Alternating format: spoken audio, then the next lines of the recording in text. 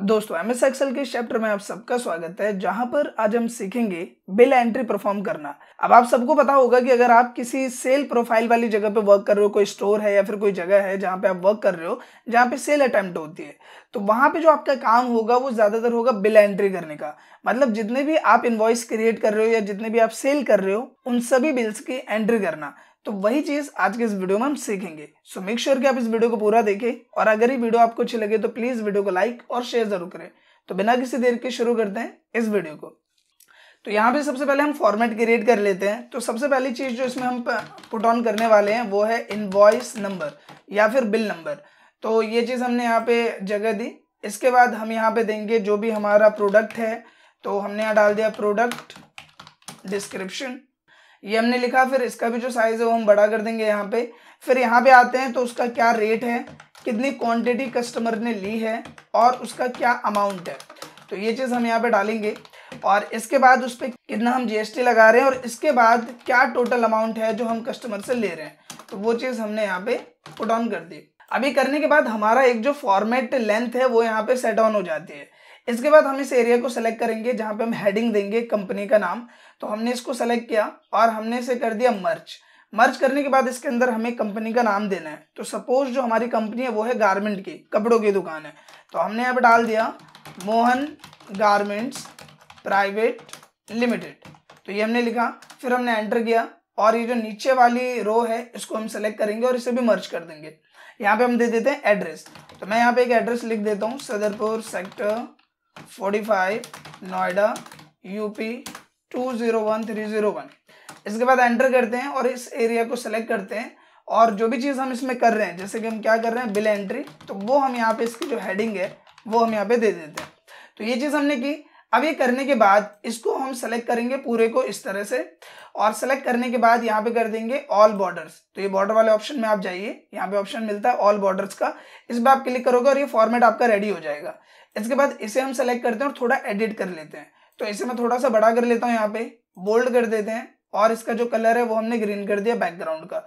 और इसके बाद इन्हें भी सेलेक्ट कर लेते हैं और सेलेक्ट करने के बाद जो भी कलर हम यहाँ पे देना चाहते हैं, जैसे कि हमने यहाँ पे दे दिया ये वाला कलर और नीचे वाले में हम दोबारा से ग्रीन कलर दे देते हैं। तो ये हमने दिया, बड़ा कर लेते हैं इसे, और बोल्ड कर दिया। और इसका जो टेक्स्ट कलर है, वो हमने व्हाइट या येलो जो भी आपको रखना है, वो चीज़ आप यहाँ पे रख देते हो। इसके बाद इसे सेलेक्ट कर लेते हैं और इसे भी बोल्ड कर देते हैं।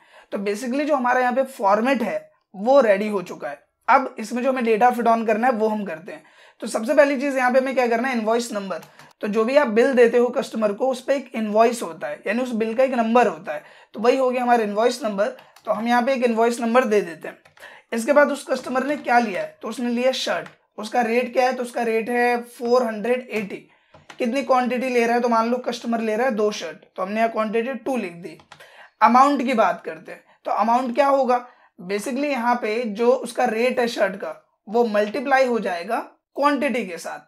तो हमने इक्वल किया और पहले हमने इस रेट को सिलेक्ट किया मल्टीप्लाई कर दिया क्वांटिटी के साथ और प्रेस किया एंटर तो ये आ गया इसका अमाउंट इसके बाद जीएसटी कितना लगा रहे हैं? जो बेसिकली अगर हम गारमेंट की बात करें तो वहाँ पे दो मेन जीएसटी होती है। एक होता है बारह परसेंट का और एक होता है फाइव परसेंट का।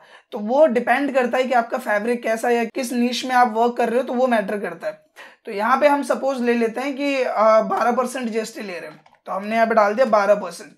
एंटर कर हैं इक्वल किया। अब इक्वल करने के बाद ये जो अमाउंट है, इसका बारह परसेंट हम कर देंगे। तो multiply twelve divided by hundred. आप जितना भी परसेंट लगाते हो, वो ट्वेल्व की जगह आ जाएगा। तो ये जो cell multiply twelve by hundred. तो ये आ गया हमारा जीएसटी और अब हम निकालेंगे टोटल अमाउंट तो टोटल अमाउंट क्या होगा? उसका अमाउंट प्लस में जो उसको टैक्स देना है तो वो हमने सेलेक्ट किया और प्रेस कर दिया एंटर तो इस तरीके से हमारा जो टोटल अमाउंट है, वो यहाँ पे आ जाएगा। तो आप इस तरह से देख पा रहे हो। अब यहाँ पे हमें एक चीज़ और करनी है कि ये जिन चीज़ों पे हमने ये इक्वेशन अप्लाई करी है, आपने देखा था मैंने सेल को सेलेक्ट करा, फिर मल्टीप्लाई इससे करा। इसे हमें ड्रैग कर देना पूरा जो हमारा रेंज है वहाँ तक। तो मैंने यहाँ तक इसे ड्रैग कर दिया और इसे भी जो है, वो हम इसी तरह से ड्रैग कर देंगे। और सेम यही चीज़ हम इस वाले सेल के साथ भी करने वाले हैं। तो हमने इसे सेलेक्ट किया। अब यहाँ पे भी ज़ीरो ज़ीरो आ रहा है। जैसे मैं इसमें कोई भी डेटा फिट ऑन करूँगा जैसे सपोज़ दैट मैं यहाँ पे डेटा फ़ीड करता हूँ नेक्स्ट इनवॉइस का, जो कि one zero three zero two और मैंने क्या सेल करी है? मैंने सेल करी है पेंट वो है सेवन फिफ्टी की। क्वांटिटी कितनी है? एक। जैसे मैं एंटर करूँगा, आप देखोगे ये सारा डेटा अपडेट हो जाएगा। यहाँ नॉर्मली अमाउंट आ गया है, यहाँ पे इसका जो भी जीएसटी लग रहा है वो आ गया और जो टोटल अमाउंट है वो आ गया है। तो इसी तरह से जो पूरा डेटा है आपको, जो बिल एंट्री में करना है, जितने भी आप सेल करते जाओगे, उन सबकी एंट्री आपको वन बाय वन करना है। तो नॉर्मली देख पा रहे हो आप, यहाँ पे मैंने थोड़ी सी वीडियो फॉरवर्ड कर दी है और ये सारा डेटा मैंने फिल कर दिया है। तो जितने भी मान लो सपोज़ आज की डेट में जो भी हमारी एंट्री हुई है, वो यहाँ पे आ गई। अब इसके बाद एक चीज़ आपको और करनी होती है, जो होता है ग्रैंड टोटल तो हम यहाँ पे क्या करेंगे, इस जो एरिया है, इसको हम मर्ज कर लेंगे यहाँ पे। तो हम इसे सेलेक्ट करते हैं और यहाँ पे कर देते हैं मर्ज पूरे को सेलेक्ट और कर दिया मर्ज और यहाँ पे हमने लिखा टोटल टोटल सेल्स कितनी हुई हमारी? तो हमने ये किया यहाँ पे आना है और आपको एक शॉर्टकट की प्रेस करनी है जो कि है ऑल्ट इक्वल जैसे आप ऑल्ट की को होल्ड करके इक्वल प्रेस करोगे बाय डिफ़ॉल्ट आप देखोगे कि यहाँ पे सम का फॉर्मूला आ जाएगा और ऊपर की जो रेंज है वो ऑटोमेटिकली सेलेक्ट हो जाएगी। प्रेस करना एंटर और जो टोटल सेल हुई है वो यहाँ पे आ जाएगी। इसके बाद इसे सेलेक्ट करके आप बोल्ड कर दो और यहाँ पे बॉर्डर अप्लाई कर दो।